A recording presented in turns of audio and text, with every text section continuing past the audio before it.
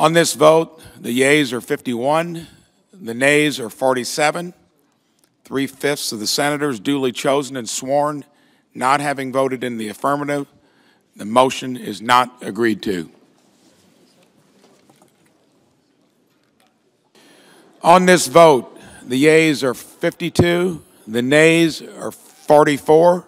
Three-fifths of the senators duly chosen and sworn not having voted in the affirmative, the motion is not agreed to.